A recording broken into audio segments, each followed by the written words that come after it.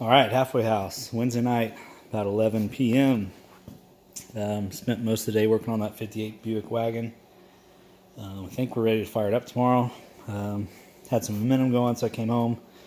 Um, swapped because uh, that Pontiac motor was on this engine stand, so I swapped that since that uh, 389 is going on that GMC here pretty soon. So it's like fuck it, um, go ahead and swap that shit.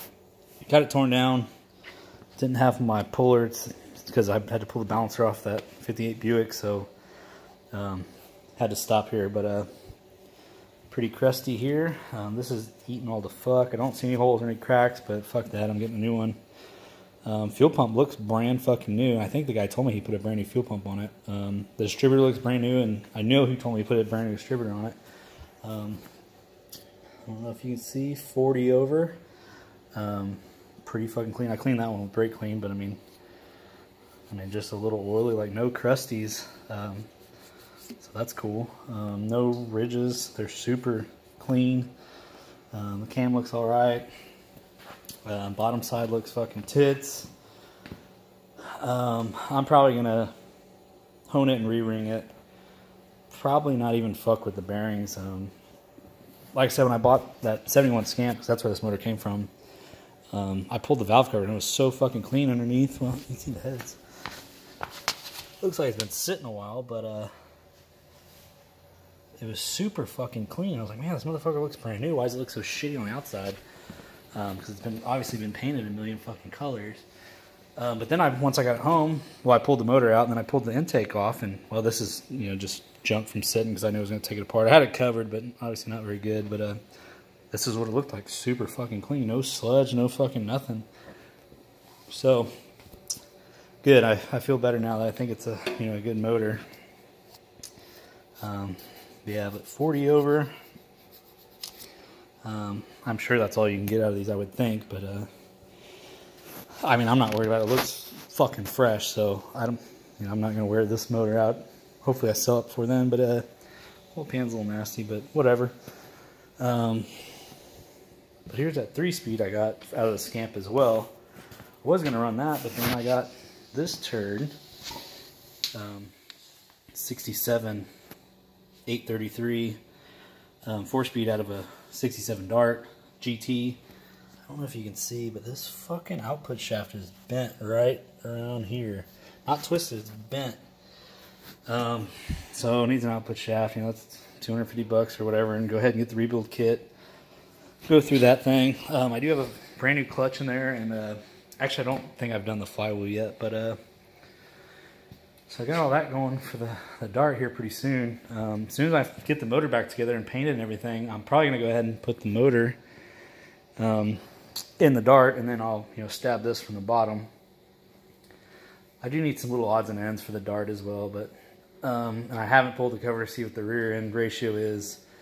Um, I am going to put a whiplash cam in this thing, and uh, it is going to be a manual, but, you know, if it's got like 269 gears or whatever the fuck those were, I mean, that ain't going to cut it, so um, probably try to find another rear end, um, hopefully an 8 and a quarter. If not, I'll just go ahead and regear that one. I mean, it's it's a fucking 318. It's not, and it's light. It's not like I'm going to be putting cheater slicks on it, making 400 horsepower and doing, you know, boosted launches or something. So I just want a fun little street car. Um, I had a 318 with a three-speed, uh, that Dart or that uh, 74 Duster I had, and it was fucking tits.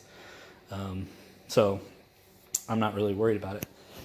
Here's 64 GTO 303 horsepower engine for the, I don't know if you can see it, the GMC. Um, yeah, so this thing's pretty much ready to go in. Kind of did some rough measuring. I think it's actually going to fit about where the fuck I need it to. So that's cool. Um, pretty clean motor. I mean, he didn't want to paint it or do nothing, and it doesn't look like it leaks, and it was in a running car, so um, he wants to throw it in as is. I'm trying to talk him out of pulling that fucking two barrel off. I've got a four barrel for it, and you know, I'd donate one of my Edelbrocks, or I got a Holley too, uh, you know, whatever, and donate to the cause, because I mean, it's a 303 horsepower 64 GTO motor. I mean, that thing needs a fucking uh, four barrel, but uh, this is where, oh, there it is. That's the trans for it. Um, for the Pontiac, for the GMC, I guess. Um, got this thing pretty much ready to pull. It's been raining almost two weeks straight. Um, but uh, yeah, I got all the wiring, all the linkage and bullshit. I still need to get the clutch linkage. Um, and I'll pull the trans and I'll pull the engine and bell housing together. Um, and then probably put the 389 and try to get it sitting where I want it to sit and then see how the trans fits and go from there. Um, I really don't anticipate being too difficult.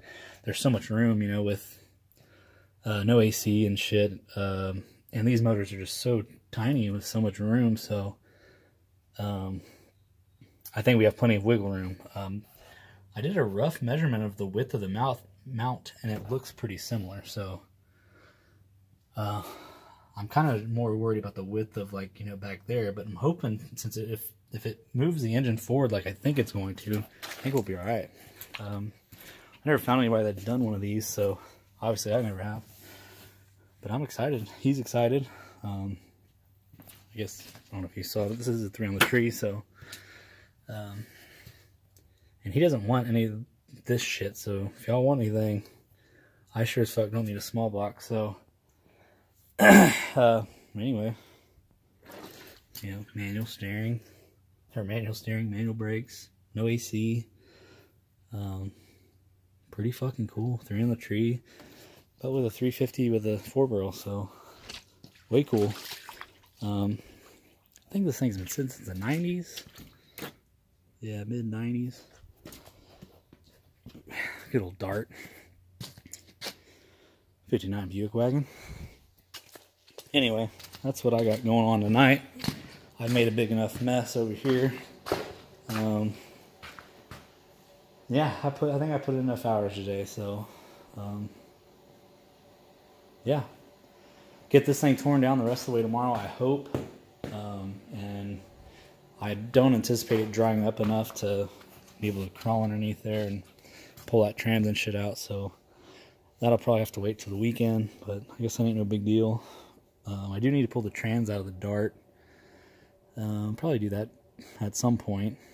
Um, if anybody needs a slant six, I'm sure it's a 904. Um, I don't know if they made a 727 with the slant six, but maybe. Anyway, that's about it. I actually had it pretty much cleaned up, so I had to do some, you know, some engine stand and and uh, shit swapping around. And of course, I had all this shit in the way, so. But yeah, halfway house Wednesday night. I will see y'all later. Ooh, mama.